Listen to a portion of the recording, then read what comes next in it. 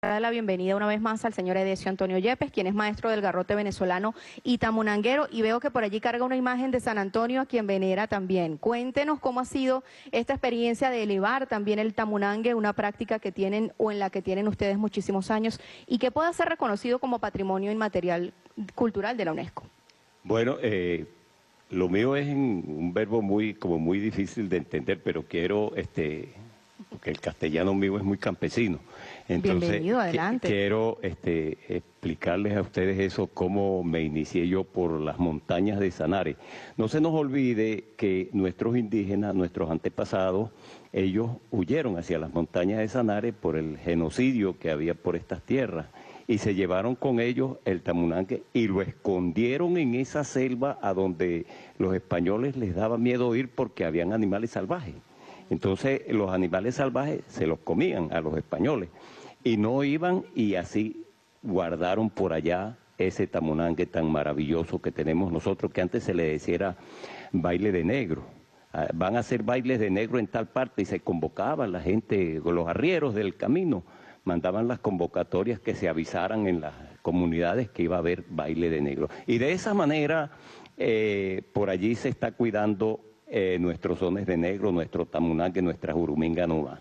Entonces, bueno, eh, yo vengo de una abuela que murió a la edad de 83 años y ya tiene sesenta y pico de años de muerta, y ella fue la que me llevó en este camino. Incluso media hora antes de morir me dijo unas palabras que para mí son muy sagradas.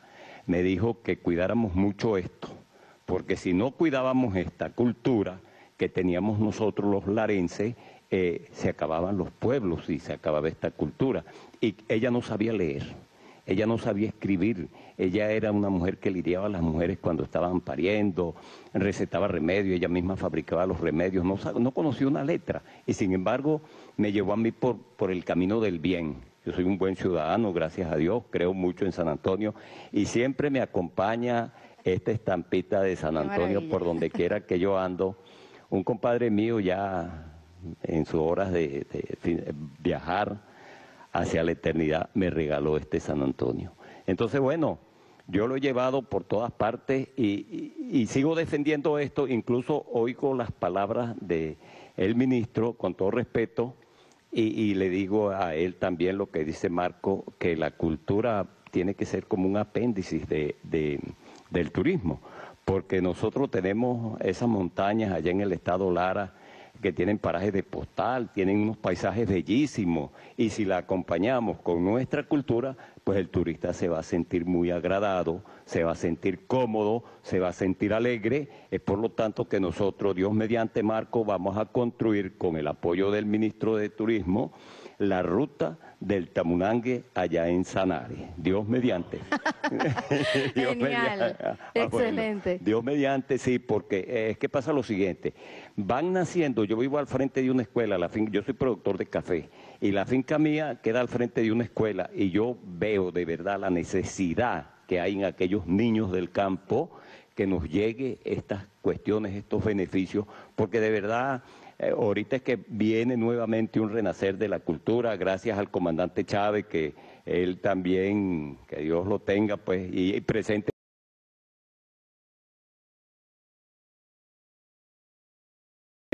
En el 2011 se creó la Red de Patrimonio Nacional y eh, era eh, Fidel Barbarito, el ministro de Cultura, yo participé, fue una reunión de los 23 estados del país.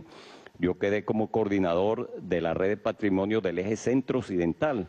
Y, por allí sigo yo trabajando. Trabajé con, el profesor Pedro Calzadilla también en la Escuela Nacional de Culturas Populares. Bueno, a donde hay cultura, allí está Decio Yepe.